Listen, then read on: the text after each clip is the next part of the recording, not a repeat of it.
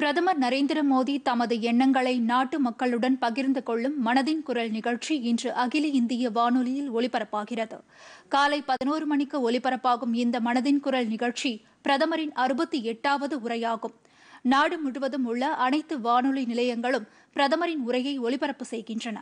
தூர்தர்ஷன் செய்தி அலைவரிசை மற்றும் பிரதமர் அலுவலகம் அகில இந்திய வானொலி பத்திரிகை தகவல் அலுவலக யூ டியூப் இணையதளங்களிலும் பிரதமரின் இந்த உரை இடம்பெறும்.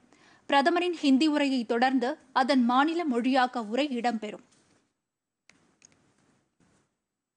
பொதிகை செய்திகளை யூடியூபில் தமிழ் நியூஸ் தூர்தர்ஷன் என்ற சேனலிலும் முகநூலில் டிடி பொதிகை நியூஸ் என்ற பக்கத்திலும் ட்விட்டரில் டிடி நியூஸ் சென்னை என்ற பக்கத்திலும் இன்ஸ்டாகிராமில் டிடி பொதிகை நியூஸ் என்ற பக்கத்திலும் காணலாம். மேலும் உங்கள் கருத்துக்களை Podhigai DD news at Gmail dot com என்ற மின்னஞ்சலில் தெரிவிக்கலாம்.